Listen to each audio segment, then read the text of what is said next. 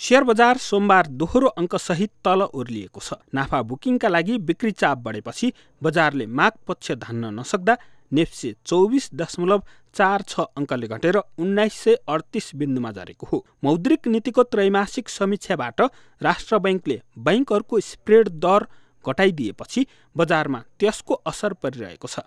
यद्यपि बजारमा एक अर्ब सडसठी करोड रुपियाँको सेयर किनबेच भएको छ बजारमा कारोबारमा आएका एक सय एकासी कम्पनीको सेयर मूल्य घटेको छ भने चौधवटाको बढेको छ।